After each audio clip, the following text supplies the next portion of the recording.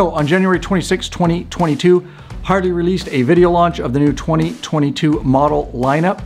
And I'm super glad that this is becoming the norm for the company as they used to only do new model release events for dealership personnel, and that really never made sense to me. In the 2022 model release video, CEO Jochen Zeitz says, In these unprecedented times, we were inspired by you, uh-huh, that's right, you, our passionate community.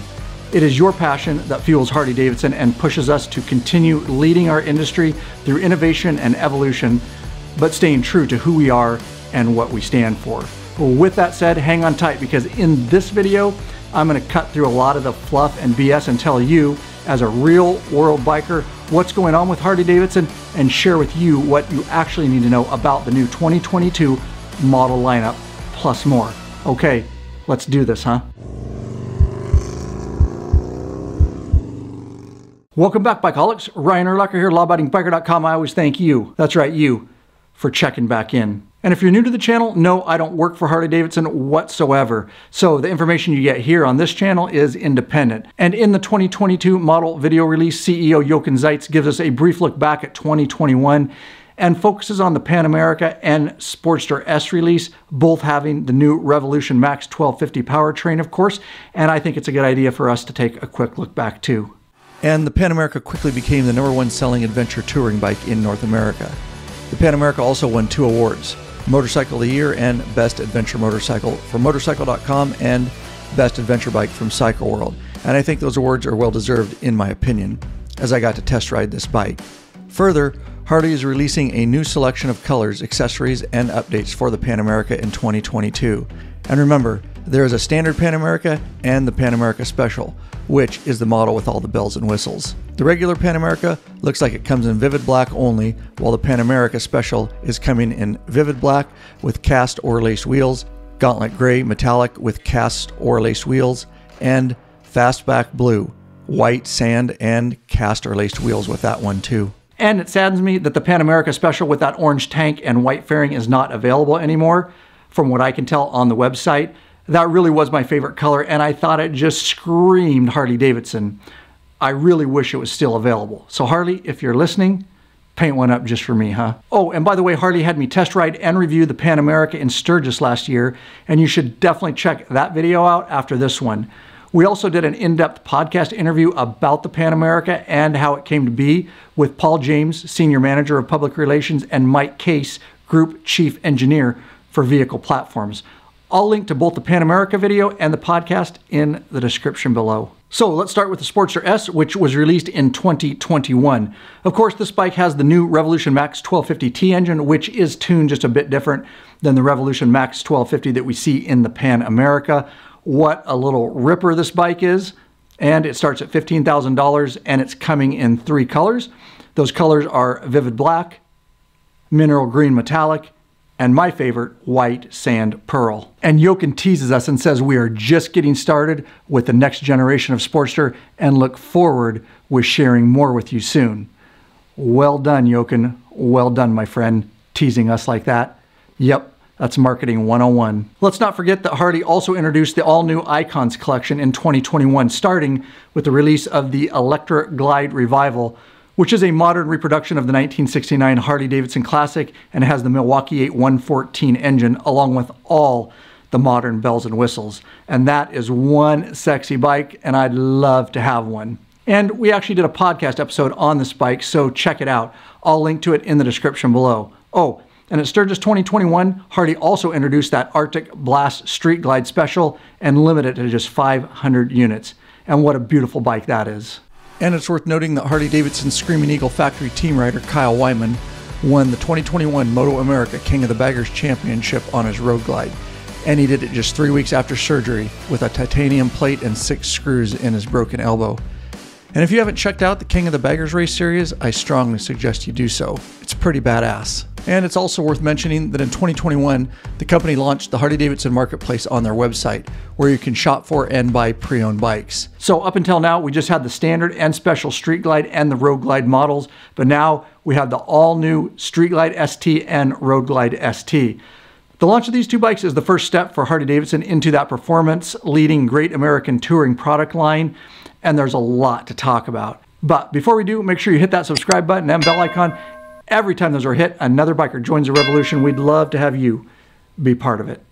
These ST models are designed for weight, power, and performance.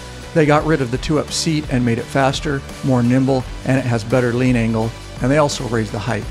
It's worth noting that this is the first time you see a CVO level powertrain on a non CVO bike.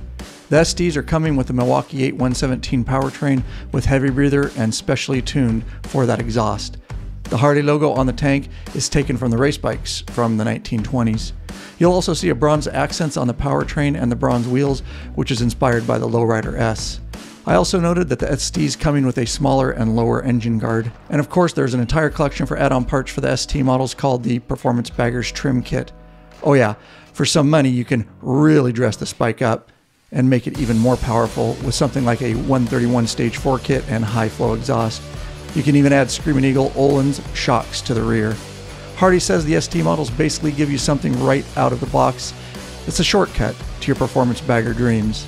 These ST models start at $30,000. And you can get both the ST models in either Vivid Black or Gunship Gray, which is my favorite color if you're wondering. However, they only come with the black powertrain and exhaust.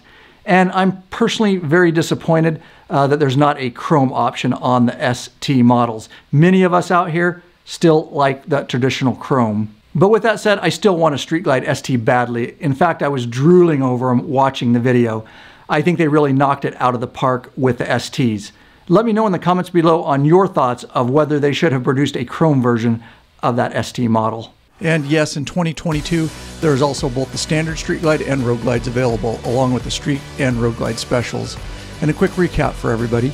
The standard models come with the smaller 4.3 touchscreen boombox infotainment system, the Milwaukee 8107 cubic inch engine, have less color options and start at $22,000. While the special models come with a large boombox GTS touchscreen infotainment system, the Milwaukee 8114 cubic inch engine sits a little lower, has more color options, and starts at 27,500. If you're wondering, yes, you can add the Reflex Defensive Rider System RDRS to either the standard or special models for $1,025, and I highly suggest doing so. If you don't know what RDRS is, well, I made a video on it and I'll link to it in the description below. The standard street and road glide models come in vivid black, midnight crimson, or white sand pearl, and they only have a chrome engine and exhaust. The street glide specials come in vivid black, black denim, gunship gray, white sand pearl, or midnight crimson and vivid black. And you can get any of these paint schemes with either the chrome or blacked out version. There is also a Redline red model, but it only comes blacked out. And the Road Glide Special comes in the same colors and options. However, it exchanges the Midnight Crimson Vivid Black for a Reef Blue Vivid Black color scheme, and that's my personal favorite out of all the options. And yes, I'm very pleased they have a chrome and black option on the special models. So, we've still got a lot to talk about, but let's finish up the Grand American Touring lineup for 2022. And just real quick, as you can imagine, a lot of effort and expenses go into keeping this channel going strong, and there is a way that you can support us by becoming a patron member. I'll link to it in the description below. There are benefits, of course, for becoming a member, such as t-shirts and stickers. You get access to the private Facebook group, which is a troll-free zone, nothing but bikers helping bikers, access to live video broadcasts and chat, access to podcasts early, premium videos, and of course, those ride, meetup, and events. Sincerely, I appreciate each and every member. Okay, let's get back into your video. So we've got the Electra Glide Standard in Vivid Black starting at 19500 Then there are the Road King and Road King Special. You gotta love the good old Road Kings, huh? The standard model comes with the Milwaukee 8107, is equipped with a windshield, comes in chrome only, starting at $20,000 and comes in three colors Vivid Black, Midnight Crimson, Gauntlet Gray Metallic Vivid Black, which I really like. The special model comes with the Milwaukee 8114, is not equipped with a windshield, and comes only blacked out, starting at 23500 and it too comes in three colors Vivid Black, Midnight Crimson, and Mineral Green Denim. And I'm not usually a fan of green, but this shade looks pretty sexy on the Road King. The Reflex Defense Rider System is also a paid option on either of these bikes. And we mustn't forget about the good old Ultra Limited. This bike comes with the Milwaukee 8114, starts at $30,000 and comes in four color options, which are Vivid Black, Gauntlet Gray Metallic, Midnight Crimson Vivid Black, and Reef Blue Vivid Black, like we saw on the Road Glide Special. You can also get the bike with any of the colors in either chrome or blacked out. Of course, this bike comes with the Boombox GTS touchscreen infotainment system with rider and passenger speakers, and yes, RDRS is an add on option. There's also the Road Glide Limited, also coming with the M8 114 and in three colors Vivid Black, Mineral Green, and Gauntlet Gray Metallic, Vivid Black. And the blacked out version has the same colors, but has the Reef Blue Vivid Black instead of that Gauntlet Gray Metallic Vivid Black. And we'll finish up with the trike models. There's the Freewheeler, which is the non-fairing version of the trike coming in three color options, sporting the Milwaukee 8114 engine and starting at $28,500. Last, the Tri-Glide Ultra, which is the full touring model with fairing, also comes in three color options, sporting the Milwaukee 8114 and starts at 35,700. Next, let's talk about the 2022 CVO lineup. And if you're new to all of this, CVO stands for Custom Vehicle Operations and started back in 1999. These bikes are the highest level factory customized bikes that the company offers. And for 2022, we have the CVO Street Glide, Road Glide, Road Glide Limited, and the Tri-Glide, all coming with the Milwaukee 8 117 powertrain. And of course, there are an array of paint scheme, graphics, parts, tech, and audio options on the CVO models. The CVO Limited and Tri-Glide are coming with the Rockford Fosgate Stage 1 speakers, and the CVO Street Glide and Road Glide are coming with the Rockford Fosgate Stage 2 speakers. And I gotta say that the Envious Green Fade with subdued black flames paint scheme on the Street and Road Glide CVOs is just plain awesome. Okay, okay, I know you've been waiting. Yeah, yeah, we got to talk about the new Lowrider S and Lowrider ST models in the Cruiser lineup. I'm also really hoping to test ride and review some of these new 2022 models and put out some videos for y'all on this channel. So, Harley decided to take the Lowrider S to the next level this year with the addition of the Lowrider ST. The Lowrider S and ST have been bumped up to the Milwaukee 8 117 powertrain now, and it puts out 125 foot-pounds of torque. The Lowrider has a heavy breather with a new exhaust setup, and they also changed the suspension and raised the bike a little to give it more lean angle. The instrumentation has also been moved from the tank up to near the handlebars to make it easier to see for the rider. The Lowrider S has a smaller fairing while the ST has a larger frame-mounted fairing and it's loosely modeled off the iconic 80s FXRT. It's pretty cool looking and functional with the side ducts. The ST also has hard saddlebags that can be removed. You sit back a little more on the standard Lowrider S, and they made it so you sit more upright on the new ST model. There is also a 2.14 inch viewable area LCD display showing a speedometer and all the other information you need. Now, the ST does not come with an audio system out of the factory, but I did find a Rockford Fosgate Harley branded interfering audio system that you can purchase for $1,000 and install. The ST comes standard with cruise control and is truly a lightweight, powerful touring bagger in my opinion. The Lowrider S and ST come in either vivid black or gunship gray. The Lowrider S starts at 18,000 while the ST starts at 21,800. So let's breeze through the rest of the bikes in the cruiser lineup for 2022. First, we have the Iron 883, which has the 883cc air-cooled Evolution engine, comes in three colors, and starts at 10,800. This is just a great little starter bike and all-around town commuter and has its own unique style and look. Second, we have the 48, which is a step up and has the 1200cc air-cooled Evolution engine. Comes in three colors and starts at $11,800. This bike also has a unique style and look, especially with that fat front tire. Third is the Softail Standard, which has the Milwaukee 8 107 cubic inch engine coming only in Vivid Black with chrome and starting at $14,000. This bike is definitely a step up in the cruiser lineup uh, with that larger engine and taller ape hanger bars.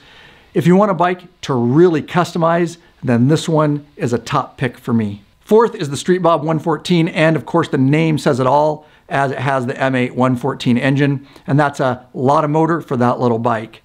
It too has its own style and flair with its short ape hangers, rubber boots over the front forks, and that awesome bobbed rear fender. It's coming in four colors and it's all blacked out. I love the Harley number one logo painted on the tank.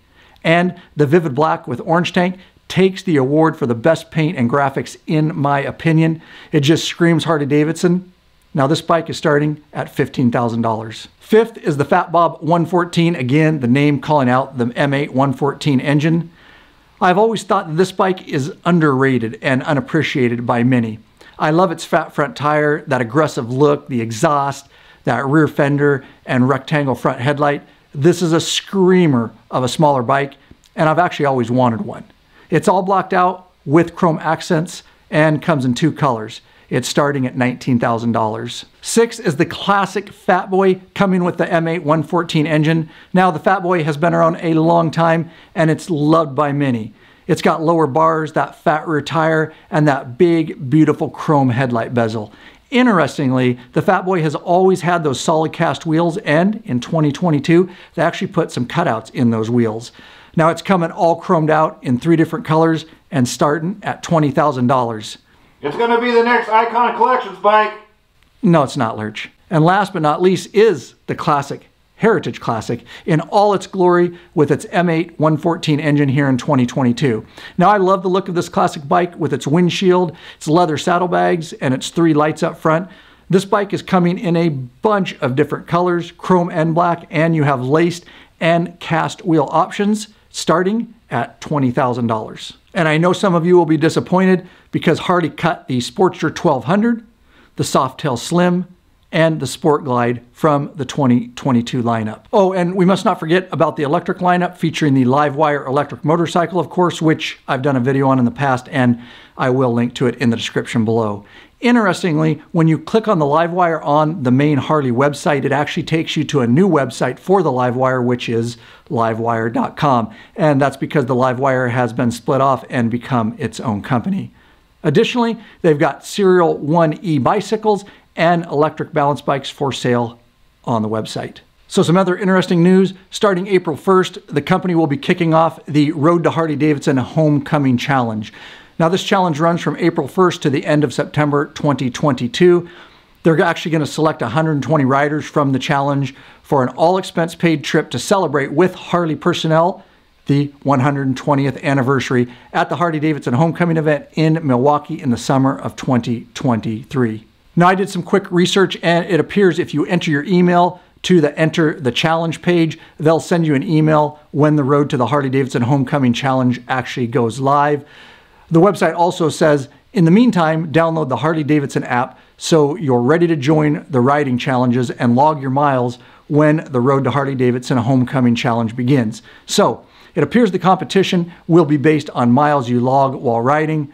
I'll link uh, to the email sign up page for you in the description below if you're interested in that. Okay, so some quick predictions here. Now, although I have no inside information on this, my personal prediction is that Harley will release either one or two more bikes into the Icons collection in mid 2022. I'm telling you, it's going to be the Fat Boy. Lurch thinks it's the Fat Boy, we know now.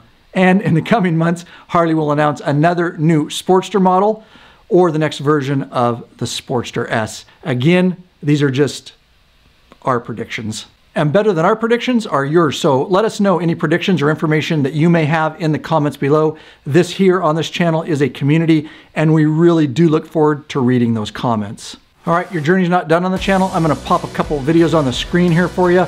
Hopefully some useful or entertaining, heck, maybe both. At any rate, when you're done watching the video, make sure you get out there and ride every chance you get, Bikeaholics. Peace.